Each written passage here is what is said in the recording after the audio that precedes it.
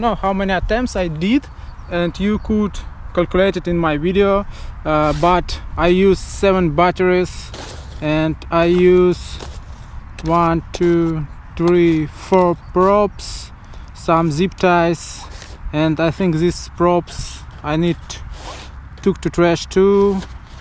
I damaged my GoPro protection case and I have some damages here on my arm and this frame from Hobbein it's Martian 2 and I use X-Racer flight controller HS1177 camera and GoPro IBCrazy Dura-Spec antenna Dragonfly VTX and Matek PDB and I don't know it's very strong and very nice frame I like it very much and all link all links I have in my video description.